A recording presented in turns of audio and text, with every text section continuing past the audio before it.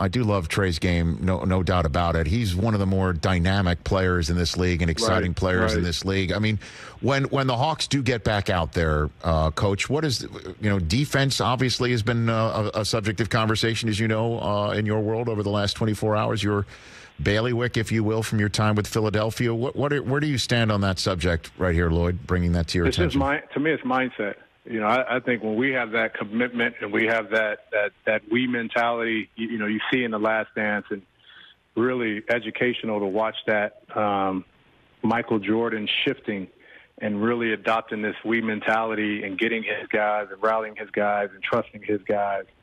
You know, when we're that way, and we have the mindset to be that way, and we have the mindset that we're no longer player development and youth isn't an excuse. Uh, all of the things are going to come together. Our offense needs to improve. Our defense needs to improve. Uh, our approach needs to improve. And so it's our mindset. We're, going to shift our mindset. We're going to we're going to work on that, and we're going to do it together. And I look forward to our group next year. I love how you mentioned the last dance like that, Coach, because I had again just I guess to bring it full circle here with Rick Carlisle because he was uh, on the bench as an assistant for Larry Bird and the, those Pacer Right. teams that were, Right. were prominently displayed in the last couple episodes of the Last Dance, as well as a member of the Knicks who had to deal with Jordan at the end of the '80s Right. as he was ascending to his greatness. Um, I asked him what he learned from it, and he kind of laughed. And he talked about how one thing, uh, Phil Jackson, how Phil, um, he he gained even more respect for for Phil for what Jackson had to weave together and put everything together.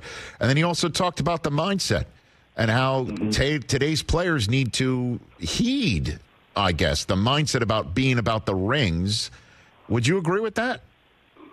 I, I, it's unfortunate that we got we got away from that. I, I don't know, you know, in sport, the ultimate is winning. It, it's all about you know the journey and getting through to get that last that last uh, victory. And you know, when we got away from that, I don't know. I don't know who or how, but you know that's important. I think uh, we're all going to have accolades. We're all going to have success from sport in our own individual ways. Me being a head coach, wow, that's great. I want to win. I, want to be known as a guy that was able to turn this program around and, and, and became a championship contender for many years and get that victory here for the city of Atlanta.